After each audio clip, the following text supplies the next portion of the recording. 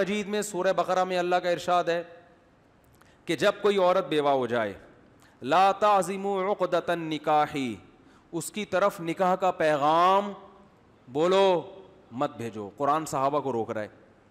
लेकिन कुरान कह रहा है आलिम अन्नकुम सतकुरून हन्ना अल्लाह को पता है तुम्हारे लिए निकाह के पैगाम भेजने से रुकना बहुत मुश्किल काम है। तुमसे सबर नहीं होगा।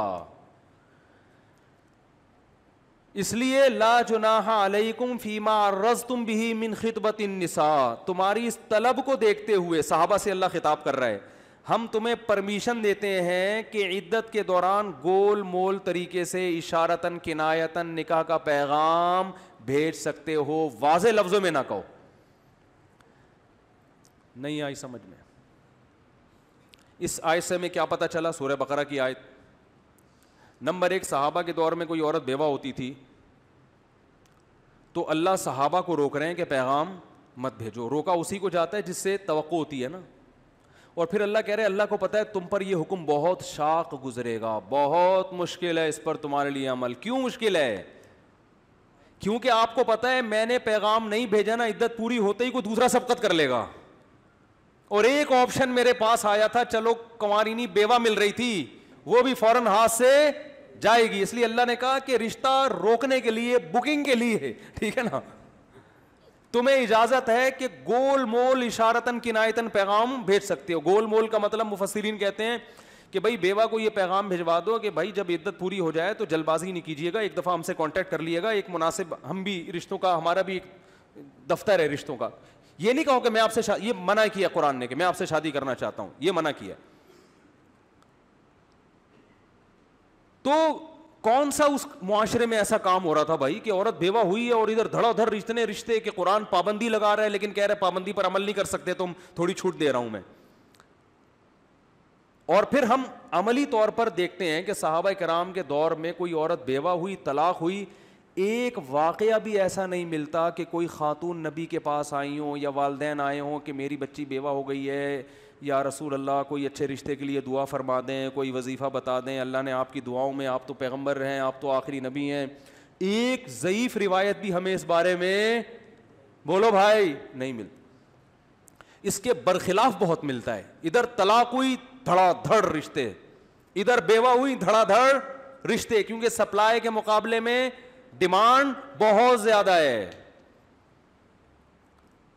ऐसा भी हुआ है कि मैदान जंग में दस हज़ार साहबा ताबीन शहीद हुए हैं, लेकिन बेवा औरतों का मसला एक दफ़ा भी कभी खड़ा नहीं हुआ।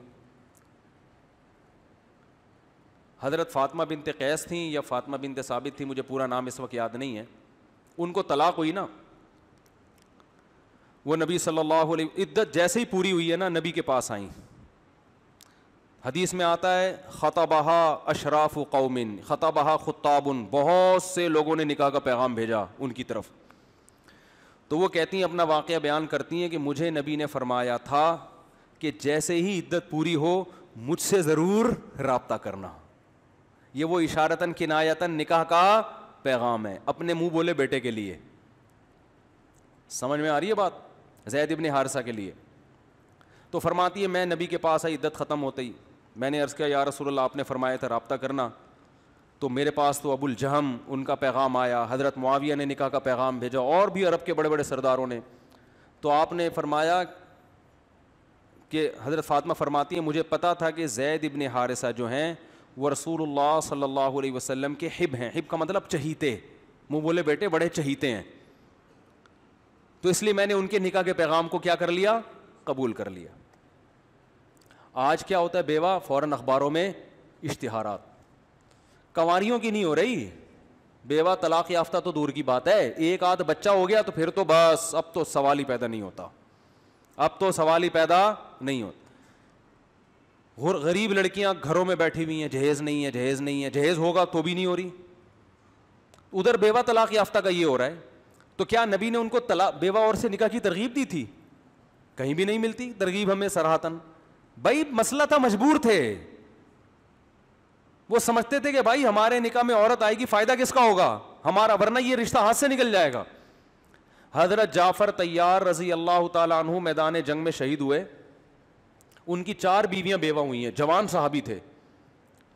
चारों का एक भी ज़यीफ रिवायत नहीं मिलती कि उन चारों बेवाओं को दोबारा निकाह करने में किसी मुश्किल का सामना करना पड़ा हो। उनमें एक हज़रत असमा थी। हज़रत अली रज़ी अल्लाह तु ने उनको निकाह का पैगाम भेजा। हज़रत अली बिल्कुल यंग, जवान, नौजवान, और उनकी उम्र क्या थी? ज़्यादा। हज़रत अबू बकर ने भी निकाह का पैगाम भेजा। हज़रत असमा ने ये कह के हज़रत अली के पैगाम को रद्द किया कि आप उम्र में छोटे हैं। और हर अबू बकर क्या है? उम्र में बड़े हैं, मिचोर हैं, उम्र के हिसाब से। बहुत मुश्किल है। बहुत मुश्किल। तो फिर उन्होंने सिलेक्शन की है। रिश्तों की तलाश नहीं की सिलेक्शन हो रही है। भाई, ये दो और भी आए हैं, लेकिन ये दो तो रिवायत में मिलते हैं। उन्होंने कहा, भाई, इन दोनों में से सेलेक्ट करना है, कौन सा मेरे लिए ज़्यादा बेहतर है? तो उन्होंने हज़रत अबू बकर से निकाह कर लिया। हज़रत अबू बकर का जब इंतकाल हुआ है, हज़रत अली ने दोबारा पैगाम भेजा। उन्होंने कहा, अब ठीक है, अब। तो हम सहाबा के दौर में देखते हैं, एक औरत दो दो, तीन तीन, चार चार दफ़ा बेवा होती थी। दोबारा निकाह में मुश्किल बोलो, नहीं होती थी। इस सेंस में आप देखो तो फिर तलाक देने में किसका नुकसान हो रहा है? बोलो भाई, आदमी का नुकसान हो रहा है।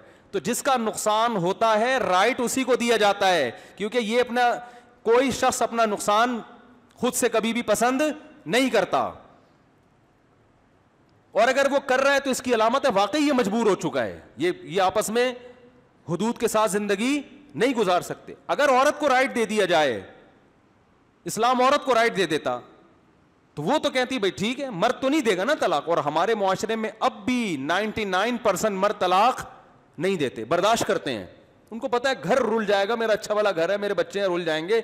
लेकिन अगर ये अदालत के ज़रिए या हकीकत में औरत को इख्तियार दे दिया जाए तो चंद सालों, अभी तो खातन आदत है उनकी घर में रहने की। लेकिन चंद सालों के बाद जो मामला ख़राब होने वाला है 99 परसेंट घरों में तलाक़ें शुरू हो जाएँगी। बात आ रही है, समझ में कि नहीं आ रही है? खातन देखेंगी, यार, ये वाला जो है ना, मेरे वसीम भाई से मेरी शादी हो गई। तो उस वक्त तो ठीक है, मुझे समझ में आ रहे थे, लेकिन इनकी अर्निंग थोड़ी कम है। जो जमशेद भाई रहते हैं ना पड़ोस में, अब सत्तार और वसीम को छोड़ देना चाहिए, जमशेद कभी तो उसने क्या दूसरे धुला हुआ है कि जमशेद भाई जो उनकी मिसालें न दें। ये जो जमशेद है ना, ये अभी सुना इनके, ये अट्ठारहवें ग्रेड के ऑफिसर बन चुके हैं। तो क्या ही अच्छा हो, यहाँ से तलाक लेके वहाँ शादी कर ली जाए।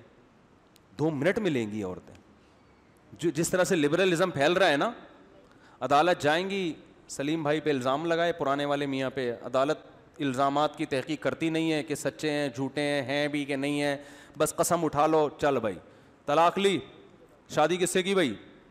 जमशेद भाई से। मादरत के साथ कोई जमशेद भाई अगर बैठे हुए हैं, उनके अलावा की बात कर रहा हूँ। जमशेद भाई से शादी की, जमशेद भाई को किसी दिन गुस्सा आ गया कि मैं तुम्हें इतना खिला रहा हूँ, तुम्हारा पुराना वाला तो गुस्से में आके गलती से उसे चमाट लग गया, जो कि नहीं लगना चाहिए। तुमने मुझे मारा? तुमने मुझ पर हाथ उठाया? है? अब या तो ये माफ़ी मांगेगा, या तो ये क्या करेगा, पाँव में पड़ के माफ़ी मांगेगा। अब मर्द कहता है, यार कम वक्त मैं खिला रहा हूँ, घर मैंने तुझे दिया हुआ, सारे बच्चों की फीसें मैं उठा रहा हूँ, माफ़ी भी मैं मांगू। वो हो गया हो गया। नहीं जी, फ़ौरन जाएगी वो अदालत। मुझे जमशेद से बोलो, खुला चाहिए। मैं मानता हूँ हमारे यहाँ मेजोरिटी इस तरह की खातन की नहीं है, घर बसाने वाली ज़्यादा है, मैं मानता हूँ। बड़े बड़े ऊट पटांग किस्म के शोहरों को बर्दाश्त कर रही हैं। लेकिन जब औरत के पास राइट जाएगा तो अगली नस्ल में इसके साइड इफ़ेक्ट आना शुरू होंगे। अभी नहीं हो रहे। आप कह सकते हैं नहीं नहीं वो तो इतना वस, वस, वो फलाने सत्तार भाई तो इतना मारते हैं वो जमशेद की बीवी माजल अल्लाह माफ़ फरमा इतनी पिटती है फिर भी घर में बैठी भी है। तो वो अभी है अभी खैर गालिब है औरतों में।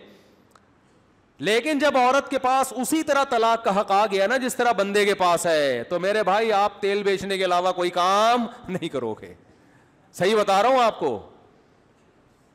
सबसे पहला इसका साइड इफ़ेक्ट होगा, मर्द अपनी बीवी से वफा कभी नहीं करेगा, मोहब्बत नहीं देगा। उसे पता यार कभी भी छोड़ के जा सकती है।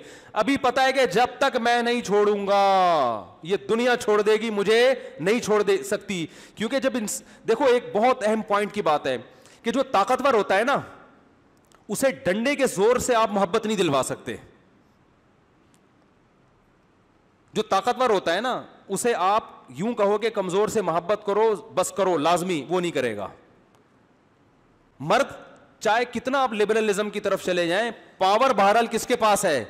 मर्द ही के पास। चाहे अमेरिका में चले जाएँ, यूरोप में चले जाएँ, पाकिस्तान में इंडिया में हो, मर्द फिजिकली मज़बूत होता है। तो जब ताकत मर्द के पास है तो वो कैसे कमज़ोर से मोहब्बत करेगा, कैसे वो कमज़ोर को बर्दाश्त करेगा, वो नहीं करेगा। वो एक ही सूरत में कर सकता है कि उस कमज़ोर को इसका अपना बना दिया जाए। उसको ये बता ये तुम्हारी है, तुम्हारे अलावा किसी और की नहीं है। ये चीज़ मर्द को मजबूर करती है, यार ये मेरे मातहत है। ये कमज़ोर है, जो भी है, लेकिन है मेरी। इसी बेस पे तो मर्द फिर उसके हुकूक अदा करता है। उसे पता हो कि यार ये मेरी नहीं है, जितना मैं इसका हूँ इतनी ही मेरी है। बराबर है दोनों। जैसे मैं इसको छोड़ सकता हूँ, ये दो मिनट में छोड़ के चली जाएगी। वो सिर्फ़ अपना काम चलाएगा, अपनी डिजायर्स पूरी करेगा और टिश्यू पेपर की तरह उठा के फेंक देगा। बोलेगा, भाई, इसका कोई भरोसा नहीं है। इसको सत्तार पसंद आ गया, उसके साथ भाग जाएगी, वसीम पसंद आ गया, उधर निकल लेगी। तो इसका कोई भरोसा नहीं है। वो कभी भी नहीं, वो फिर कभी भी मोहब्बत नहीं देगा उसको। मैं ऐसे ऐसे फंटरों को जानता हूँ जिन्होंने मैदान जंग में बड़े बड़े जौहर दिखाए हैं आर्मी में हैं, बड़ी बहादुरी के उनके वाकयात हैं। लेकिन वो बीवियों के सामने ढेर हो चुके हैं। क्यों? कह रहे, यार, ऐसा सताती है, मगर छोड़ नहीं सकते हम। छोड़ नहीं सकते। क्यों नहीं छोड़ सकते? अबे, भाई, बच्चे कहाँ जाएँगे? हैं? घर बर्बाद हो जाएगा। मजबूरी है, ये अल्लाह ने उसको पता है कि ये किसके, अगर उसको ये पता चल जाए, जो बहादुरी के जौहर दिखा रहा है, इतने बंदे उसने भड़का दिए हैं भाई? मैदान जंग में। लेकिन उसको ये पता चल जाए कि ये मैं तो नहीं छोड़ रहा, इसको मैं तो बर्दाश्त कर रहा हूँ, घर बचाने की खातिर। लेकिन इसका मीटर घूमा तो ये अदालत से खुला ले लेगी। तो वो कभी भी उसके लिए कुर्बानी बोलो भाई नहीं देगा। इसी वजह से पूरी दुनिया में जितनी कौमें बसती हैं, उनमें सबसे ज़्यादा मज़बूत फैमिली सिस्टम मुसलमानों का है आज भी। तलाक़ों के रेशो बहुत कम है। तो ये एक इल्लत है कि मर्द को तलाक का इख्तियार क्यों दिया गया है? इसलिए कि तलाक देने में मर्द का नुकसान ज़्यादा समझा जा, जाता है शरीयत में। औरत का नुकसान कम। अब और अगर औरत का नुकसान हो तो उसकी कुछ और वजूहत हैं। उस, वो इस्लाम का कसूर नहीं है। और दूसरी बात ये ये मर्द को ये बाबर कराने के लिए तुम्हारी है तुम्हारी मर्ज़ी के बगैर बोलो नहीं जाएगी। तो यही चीज़ मर्द को मजबूर करती है भाई ये कहाँ जा रही है? तो मेरी है ना। तो बर्दाश्त करता है। तीसरी बात यह कि मर्द में कुत बर्दाश्त औरत से ज़्यादा है। बस ये करके मैं अपनी वो अकली नकली को कंप्लीट करूँगा। अकली दलील, नकली दलील, बस वो सबक सुना के आज का बयान खत्म। तीस, तीसरी बात क्या कि मर्द को तलाक का हक क्यों दिया है? इसमें बर्दाश्त की कुत औरत से ज़्यादा है। अगर औरत को तलाक का हक दे दिया जाए ना तो औरत खातन जज्बाती हो जाती हैं जल्दी। कितनी खातन ने अदालत से खुला लिया और अब पछता रही हैं। काश खुला ना लेते। तबाह हो गए, बर्बाद हो गए।